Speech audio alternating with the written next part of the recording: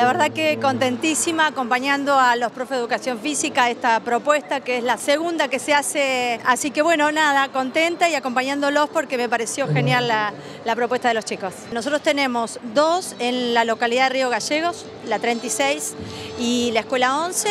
Tenemos en Caleta Olivia y tenemos en Río Turbio la orientación de educación física. Bueno, mañana se viene la corrida atlética. Mañana la expectativa del tiempo, pero bueno, no, esta vez no se suspende.